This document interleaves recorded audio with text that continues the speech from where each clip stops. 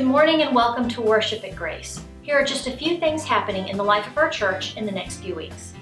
All adults aged 55 and older are invited to the STARS annual Thanksgiving feast. It's coming up in a few weeks. Tickets go on sale today in the narthex. This is an all catered meal served by your very own Grace staff, so get your tickets today. Would you like to know more about the Family Promise mission that we have here at Grace? If so, you're invited to attend the Family Promise information and training session next Sunday. Snacks will be provided. All you need to do is check your connection card and show up that Sunday.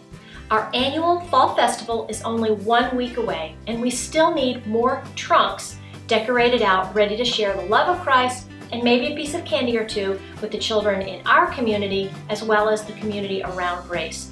This is a big outreach every year, and so we invite everybody to check your connection card today and show up at the Fall Festival.